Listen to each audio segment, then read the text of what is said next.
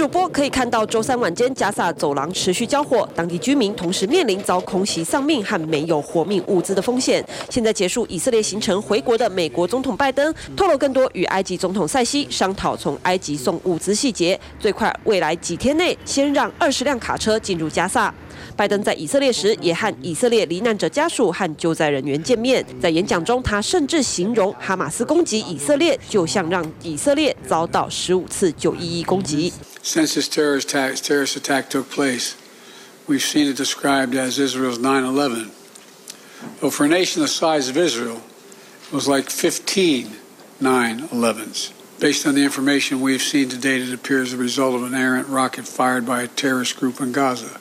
拜登也说，加萨医院空袭似乎是伊斯兰极端组织发射飞弹酿祸。现在有消息人士透露，拜登可能会在近期向国会提出追加约一千亿美元，相当三点二兆台币预算，提供以色列，甚至包含对乌克兰和台湾的国防援助。